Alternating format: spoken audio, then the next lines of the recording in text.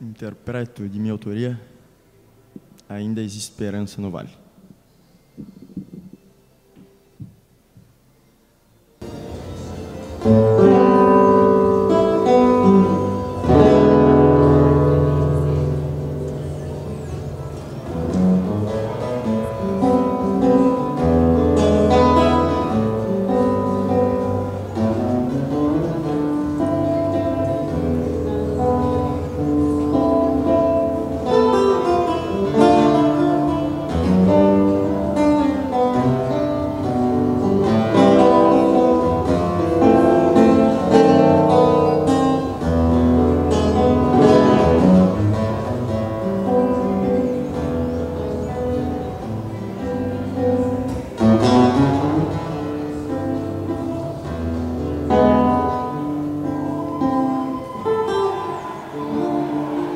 Thank.